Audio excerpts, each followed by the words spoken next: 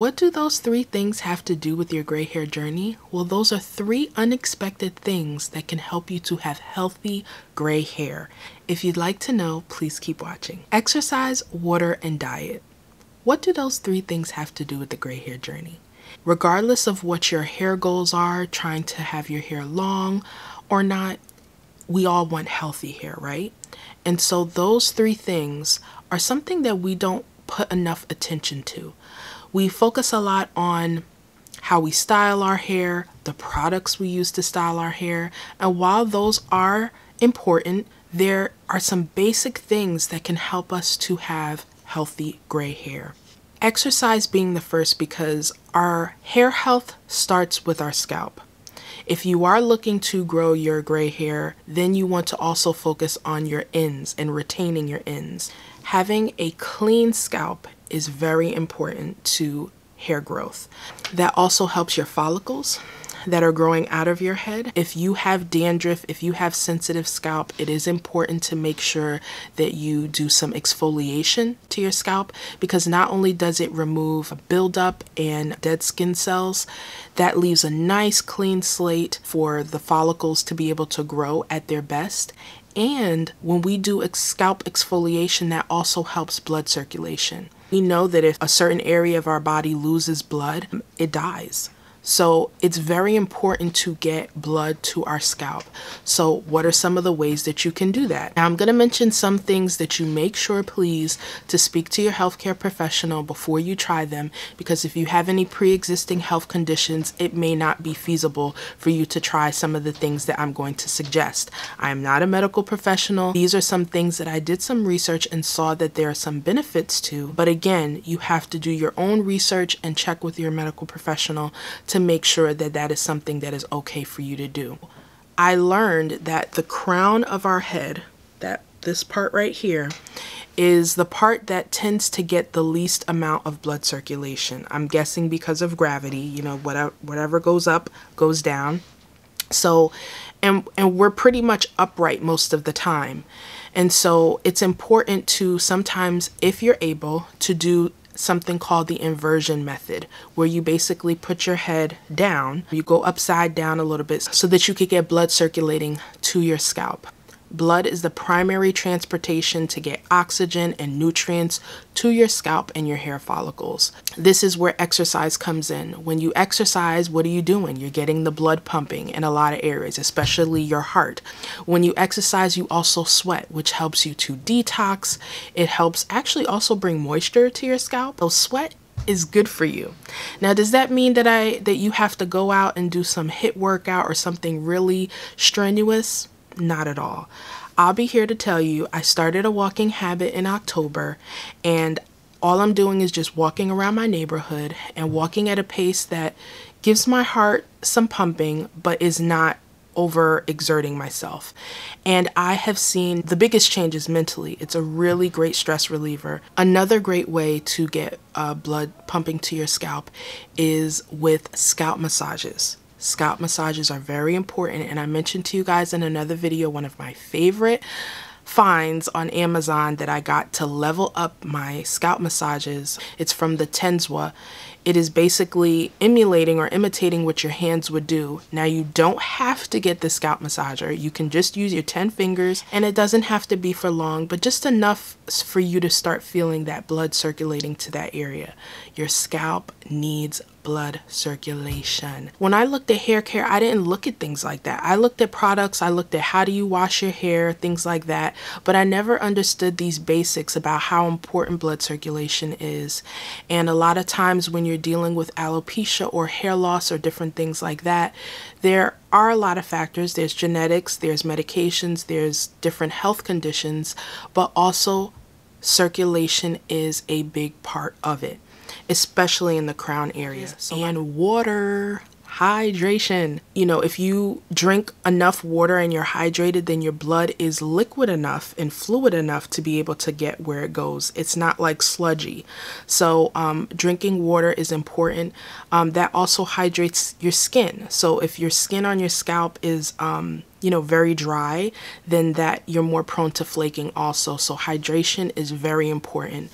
Um, through that water, um, you also again are able to get the nutrients that you need to different parts of your body. If you're looking to grow your gray hair, length retention is also very important because you can grow your hair. Sometimes that may not be the problem, but you're not retaining length.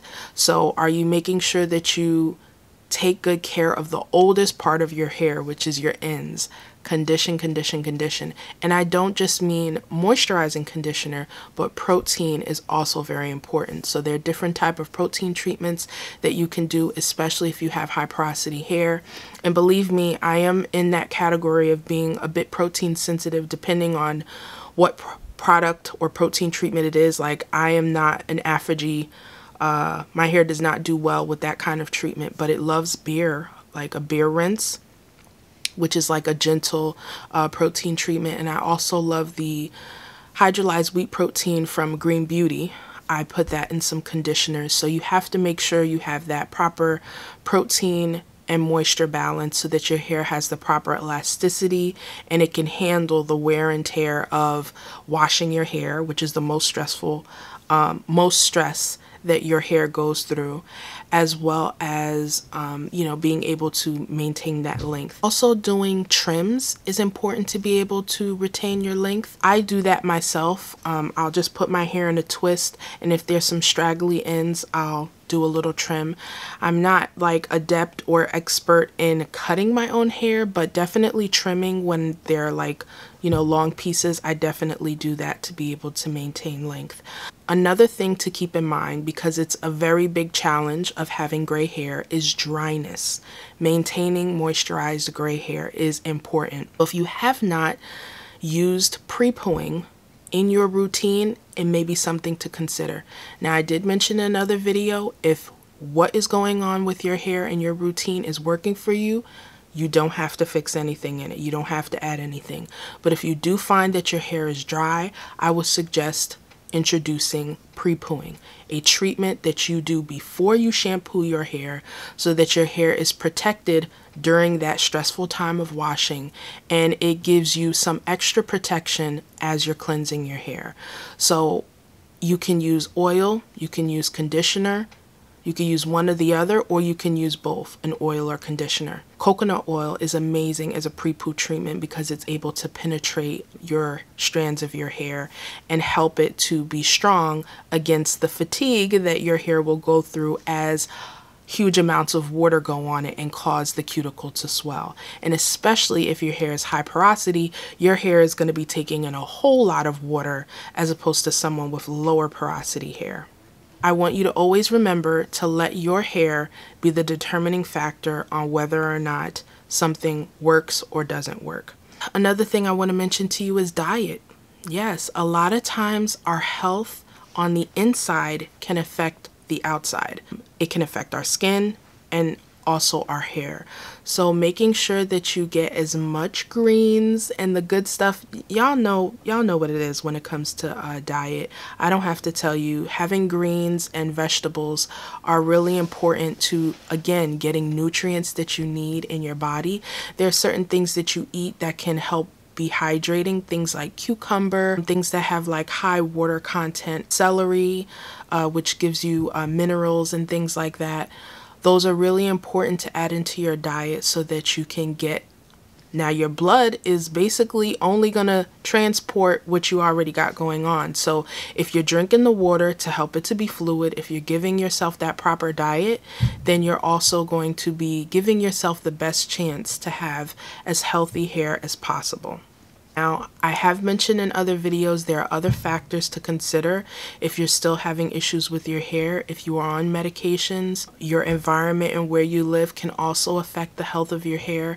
But the things that I mentioned here getting the blood pumping through exercise, drinking lots of water, and watching what you put into your body can be very helpful in helping you with healthy hair. I'm also going to link a video below from Green Beauty where she talks about this inversion method in more detail as to how you do it. But again, when, especially when it comes to that, I want you to definitely check with your medical professional if you have any health issues. I don't want you to, you know, hurt yourself trying to get blood circulation. Exercise, walking is one of the easiest things, but even with that, they tell you to check with your medical professional. So I will tell you to do the same because I am not a professional. I'm just sharing some things that I have researched and I personally have found has been helpful. So I'd love to hear in the comments which one were you surprised to hear the most about as far as helping you to have a healthy gray hair journey and or which one are you planning to implement? I'd love to know in the comments. As always, I appreciate you guys for supporting and watching my videos. Please let me know in the comments any questions you have or any video suggestions so that I could help you out. I always look forward to hearing from you guys. You can even email me at nina and naturallygraysful.com and show me pictures of your journey as you guys have already been doing. And I look forward to seeing you guys on the next one. Bye. Exercise, water, and diet. What do those three things have to do with the gray hair journey?